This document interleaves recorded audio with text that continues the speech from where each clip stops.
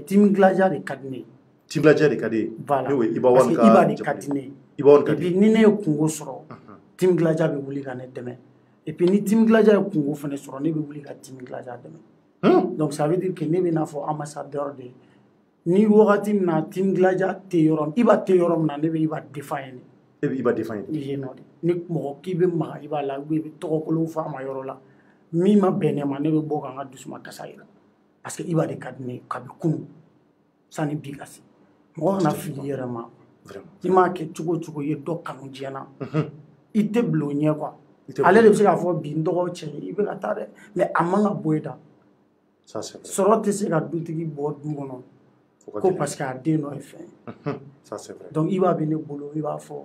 ten de c'est pas parce que artiste tɔw man di ne ye mais dɔnkili na sira kan ne i b'a kanu bi tɛ sinon ne bɛ yaala ka gasibi ɲini mɔgɔw b'o dɔn zilow ninnu b'o dɔn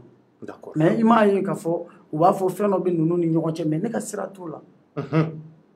ne ye ne yɛrɛ de mɛ n'i ye dɔnkili ko na dɔ fana ka di n ye kuwa dɔn i b'a de ka di n ye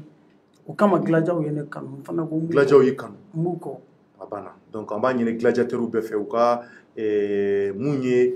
prince ye u ka prince soutenu hali bi o tɛ wa donc aw tɛgɛ bɛ ɲɔgɔn bolo fo waati jan d'accord vraiment an bɛ tɛmɛ ni